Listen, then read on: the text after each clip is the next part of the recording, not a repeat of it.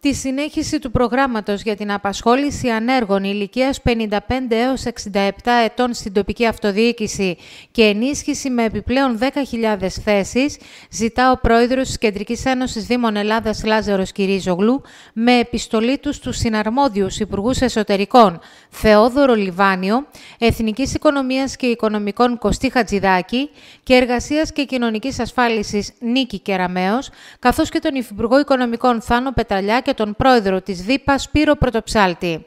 Ο πρόεδρος της ΚΕΔΕ στην επιστολή του επισημαίνει ότι τα τελευταία χρόνια οι Δήμοι βρίσκονται αντιμέτωποι με σημαντικά προβλήματα λειτουργίας τους εξαιτίας της μεγάλης έλλειψης προσωπικού σε κρίσιμες υπηρεσίες. Υπογραμμίζει ότι η υποστελέχωση έχει λάβει πλέον δραματικές διαστάσεις και αναφορικά με το ειδικό πρόγραμμα απασχόλησης ανέργων ηλικίας 55-67 ετών στους Δήμους, ο κύριος Κυρίζογλου υπογραμμίζει ότι υπήρξε μια πολύ σωστή πρωτοβουλία με την οποία οι Δήμοι μπόρεσαν να καλύψουν μέρος των κενών τους σε προσωπικό κρίσιμων υπηρεσιών.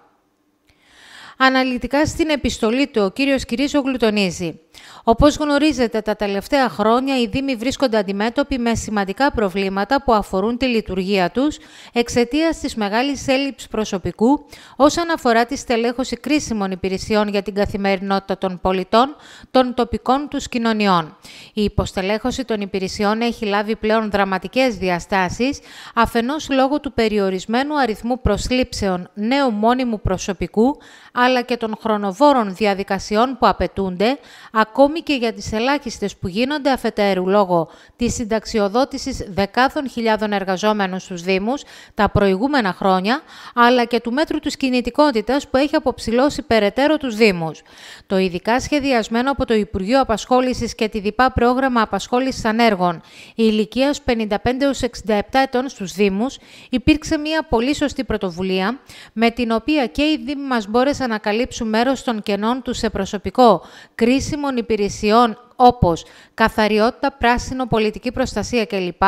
αλλά και άνεργοι συμπολίτες μας σε ηλικία κοντά στη συνταξιοδότησή τους είχαν τη δυνατότητα μέσω του προγράμματος να προσφέρουν χρήσιμες υπηρεσίες και να συμπληρώσουν τα απαραίτητα ένσημα για τη λήψη σύνταξης. Με βάση τα παραπάνω, η Κεντρική Ένωση Δήμων Ελλάδας κρίνει απαραίτητη όχι απλά τη συνέχιση του προγράμματος, αλλά και την ενίσχυσή του με επιπλέον 10.000 θέσεις πέραν όσων έχουν εγκριθεί. Επιπλέον, θεωρούμε πολιτικά απαράδεκτη και κοινωνικά ανάλγητη κάθε σκέψη που έχει διατυπωθεί στο παρελθόν από οποιαδήποτε πλευρά για κατάργηση της χρηματοδότησης του συγκεκριμένου προγράμματος, αφενός γιατί θα δημιουργήσει τεράστια κενά στη λειτουργία βασικών υπηρεσιών των Δήμων, αφετέρου γιατί θα στερήσει τη δυνατότητα σε ανέργους μεγάλης ηλικίας να απασχοληθούν και να εξασφαλίσουν τις προϋποθέσεις συνταξιοδότησής τους,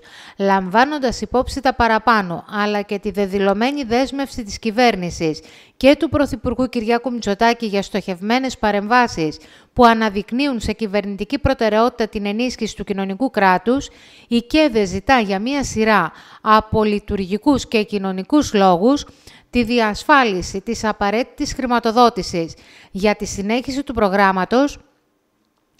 καθώς και την έκδοση νέας κοινής υπουργικής απόφασης που θα προβλέπει την ενίσχυσή του με επιπλέον 10.000 νέες θέσεις ανέργων συμπολιτών μας ηλικίας 55 ετών και άνω.